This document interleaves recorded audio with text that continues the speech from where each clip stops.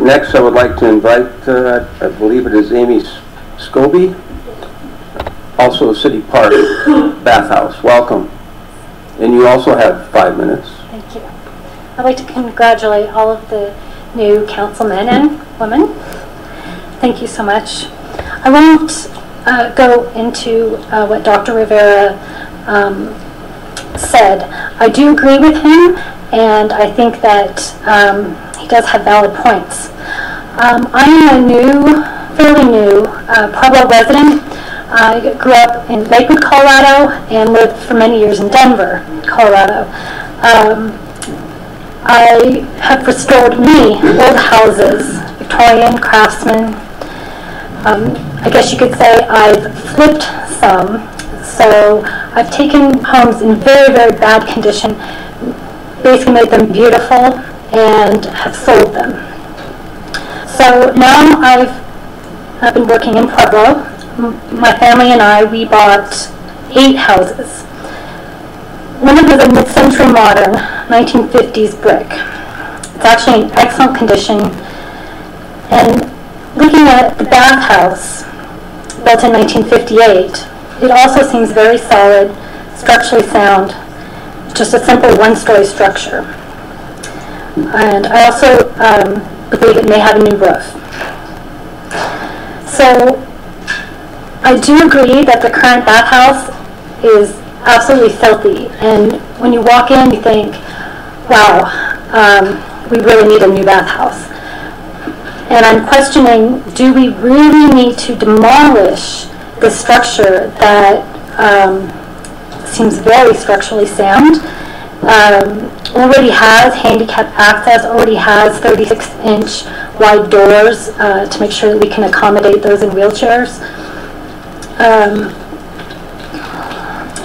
I do realize that there may be asbestos um, and that we want to take the asbestos into serious consideration, but to demo and then rebuild for approximately three-fourths of a million dollars, I do also question, gosh, is that really how much it should cost? Um, are we really going to be benefiting the taxpayers? And, you know, is something we can really afford? Um, I mean, I'm just saying if it were me, if uh, I was going to flip this bathhouse and restore it, um, I think it could easily be done for a lot, lot less than um, even half a million. Um, I would, number one, not spend $12,000 on exterior painting. And I know we want to use graffiti paint, but what about just using white paint on the exterior so that if we do experience graffiti, white over white is fairly simple. Um, quite honestly, um, I would only spend about 2000 for exterior painting. And then approximately 90,000 plumbing. That also does seem extremely high. Uh, I don't know if that includes all sewers, all water lines, um, toilets, uh, sinks. I was thinking less than half of 90,000, maybe even less than that, unless we're using copper. So if we're going to be, another question is, would it be new copper plumbing? And if put in new copper plumbing that is also exposed on the outside, would it be stolen? So anyway, I would just ask uh, council members to please consider another bid and please consider um, voting again. Um, if could receive a vote. Um, I just, it just seems to me unbelievable that it costs this much. Um, the uh, Denver home that I restored was approximately thousand square feet, um, and I spent forty thousand dollars to restore the entire house. That includes new roof, uh, new furnace, new water heater, new plumbing, new electrical, and we gutted the uh, kitchen. So $40,000 later, I basically had, you know, a new modern remodeled home and it sold. So I just want council members to really look at the numbers and think, gosh, you know, is this the best way to spend our money? um, because we want the pool to be open, we want the children to enjoy it. And, I mean, heck, I would, I would really just start with some bleach. Um, and, um, you know, just get the kids in there, get some swimming lessons. Excuse me, that concludes your five minutes. Okay. Thank you for your testimony and welcome to Pueblo. Thank you. And please come back. All right, next I would like to invite, uh, is it Clyde Kramer? Kramer? Is it Kramer or Kramer? Okay, welcome. Thank you. And you also have five minutes, Clyde. Pardon? You also have five minutes. Okay. And I will politely cut you off if you go over five minutes. I've got less than that. My name is Clyde Kramer. I'm president of American Log Homes. Uh, I reside in Colorado. Uh, I've been in the log home manufacturing business and construction for nearly 43 years. My concern is the recent bid for the bathhouse at City Park next to the swimming pool. The low bid for new construction was $670,299, $277 plus a square foot. This seems excessive for a concrete block building with few amenities, a few showers and toilets. If one looks at the line items, we see nearly 12000 for painting.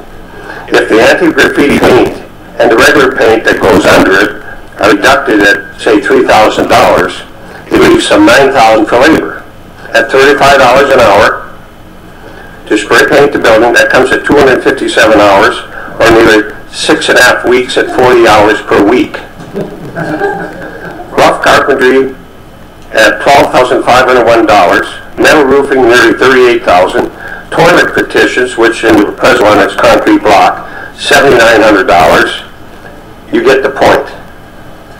Uh, This may be the low bid, but should, it should be given a line-by-line evaluation as to see if it's, if it's excessive for the city of Pueblo. A market in Pueblo West is 4,359 square feet, plus a three-car garage. It has three-way gas fireplace, four bedrooms, four baths, located on 1.1 acres of land, has granite countertops, double oven, etc.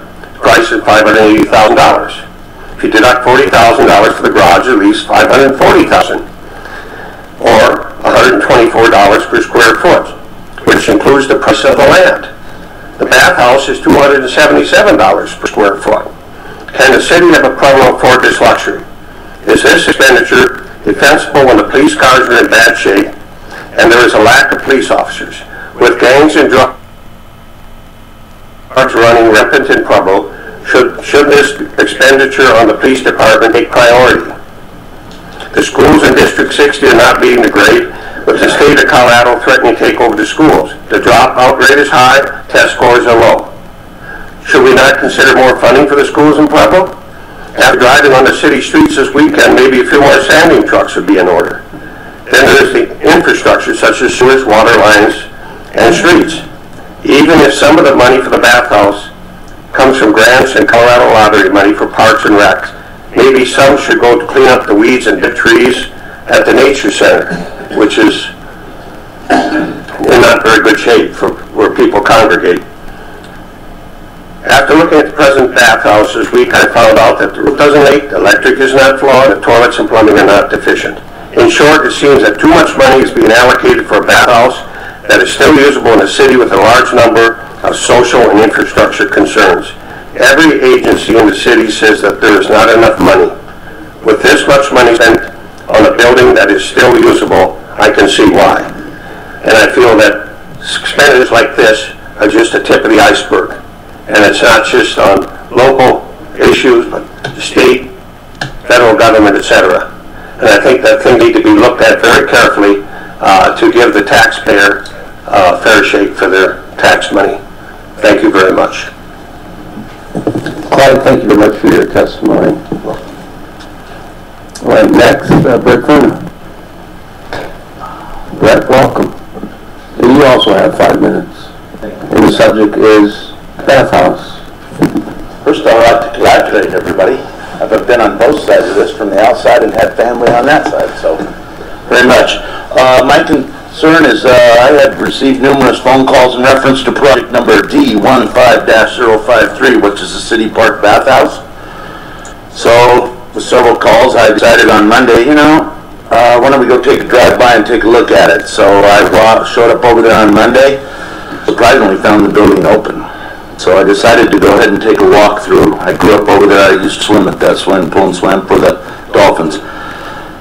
And spent a little over an hour or so there, and I did a physical assessment to the building. I was really surprised on the structure of the building. The building seems to be very, very sound. I have over 35 years in the construction industry, and I've done numerous renovations, historical preservation, and projects that were far exceeding the technical of this building. And then I decided, after looking at it and seeing the concessions and everything, I started looking at it from a different aspect. How could we use the building? Uh, it's approximately 2,400 square feet. Uh, looking at it and thinking about it, probably got to bring some ADA modifications that could be done. We probably want to take the infrastructure in the building, the sewer and the water, open it up and change the sewer lines and build that up. That could be done. We can bust out the interior concrete because the building foundation and structure rests on its own merit. It's all masonry, it's solid, there's no infractions, there's no soil movements and nothing that was going on. And then, then I heard that the building was gonna cost approximately seven hundred thousand dollars for a seasonal use building, and I was quite surprised. So then I took and did my math backwards and said, well, we could save this building, we could modify this building to look like, even like the buildings that are being drawn on the other bathhouses that they renovated, which are beautiful, I might add. This building is really actually a great sound building. It is a little poor on maintenance, I will say. You know, it doesn't show itself well as a city facility for our kids, but it's functionally very well. I mean, if we go and do this building and build a new structure over there, then the existing building we gotta tear down, which is, as far as I'm concerned, very solid. We could raise the roof and redo it. Then we have to change all the infrastructure that are, that's going to the new building and demolish and cap off the old, pour the concrete, the fence and everything else. The other really big thing that faced up to me as I was looking at is all the school districts in Pueblo has put, taken and spent millions of dollars to do these children pick-up and drop-off zones. Well, City Park already complements it, with the way the road enters it and exits, so there's a safety area. That was a big plus to me. And then looking at where the new facility was gonna go, I looked at the parking lot and I seen all the other venues that use that parking lot. I mean, we got frisbee golf, we've got baseball, we've got horseshoes, and we've got the swimming pool. So there's a lot of other venues that we'll be taking away from on that additional parking. And then the congestion of back to dropping off the kids. I happen to have kids and I've got a grandson now, so that seems to be pretty important to me and I know it's probably important to everyone else. So all I'm asking is that if we can somewhere look at, and I wasn't here for the beginning of the work session, I apologize.